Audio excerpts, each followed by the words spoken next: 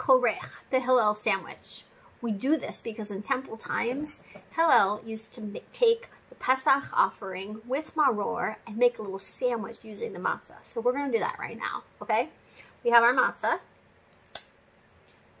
This is like two pieces of a sandwich. By the way, you see how it matches my dress because I'm a matzah dress person. Okay, um, and we take our maror, okay? Remember, I've got this jar of Tuv Taam here. I'm just going to, if you have fresh horseradish, I suggest you put this in. But remember, I don't. So I'm just going to use what I have because we do the best we can. And I'm going to put this on top and I'm going to eat this delicious sandwich. And hopefully it won't make a mess and get all over my dress. Hmm. Yum.